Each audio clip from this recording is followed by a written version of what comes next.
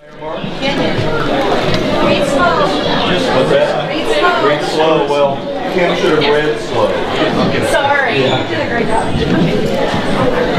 How many of you guys were here last year?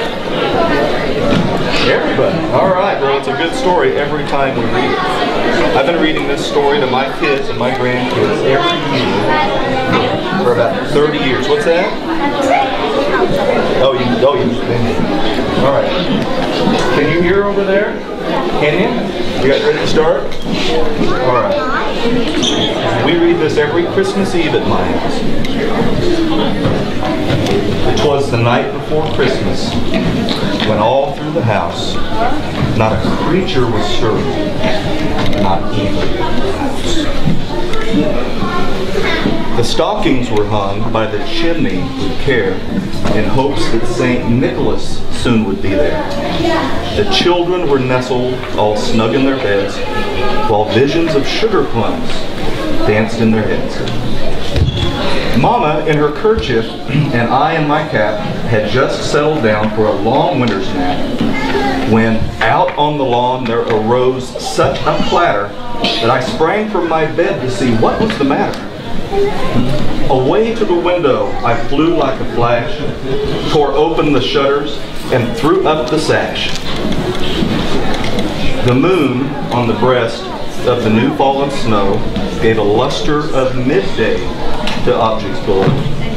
When what to my wandering eyes should appear but a miniature sleigh and eight tiny reindeer, with a little old driver so lively and quick, I knew in a moment it must be Saint Nick. More rapid than eagles his coursers they came, and he whistled and he shouted and called them by name.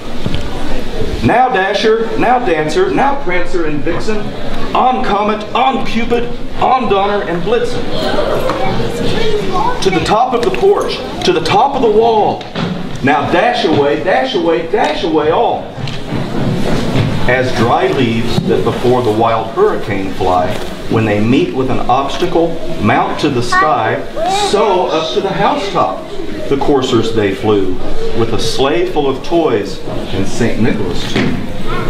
And then in a twinkling I heard on the roof the prancing and pawing of each little hoof. As I drew in my head and was turning around, down the chimney St. Nicholas came with a bound. He was dressed all in fur from his head to his foot, and his clothes were all tarnished with ashes and soot. A bundle of toys he had flung on his back, and he looked like a peddler just opening his pack. His eyes, how they twinkled. His dimples, how merry. His cheeks were like roses, his nose like a cherry. His droll little mouth was drawn up like a bow, and the beard on his chin was as white as the snow. The stump of a pipe he held tight in his teeth, and the smoke it encircled his head like a wreath. He had a broad face and a round little belly that shook when he laughed like a bowl full of jelly.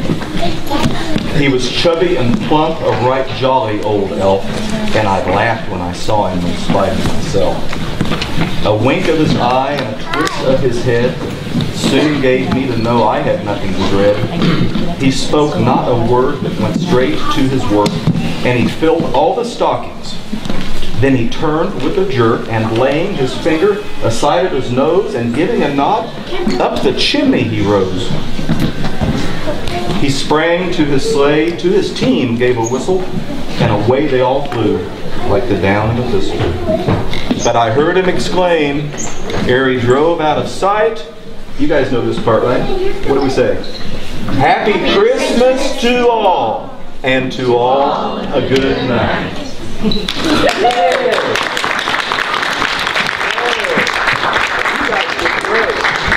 be able to help me read this next year. Anyway, even though it's not dark, but I figure that way you guys won't have to stand around in the cold. There's a couple of things I wanted to do though. First of all, I wanted to introduce you to Miss Osawatomie Larissa Harrison. she is our queen. Let's give her a hand. She helped with the today, and she's helped with several things like our parade. Uh, there's a few people that we really need to thank. First of all, Terry Otten, with the help of Alex Castillo, are the ones that provided the tree for us. Let's give them a hand.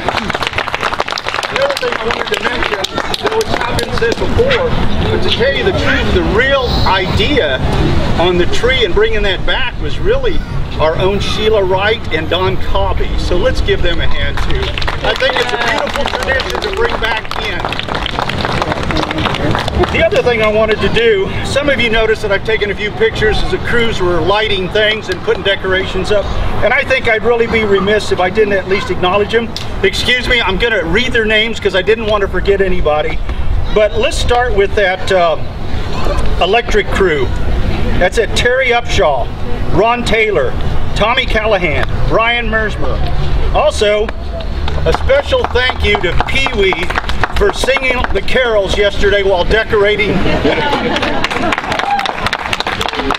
know, along with that, through uh, we had Johnny Rail that was out here helping, and somebody that's new that you may not or may know.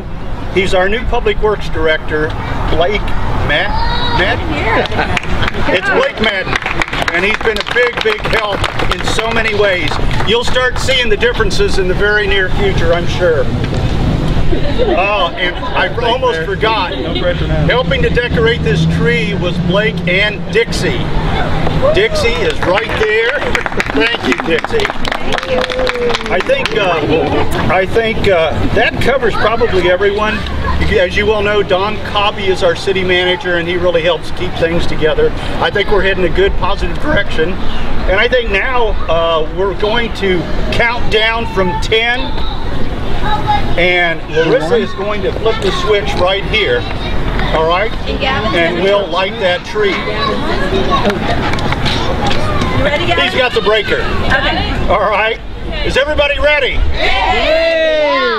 Ten, nine, eight, seven, six, five, four, three, two, one. Lights Thank you all and have very, very Have Merry, Merry Christmas.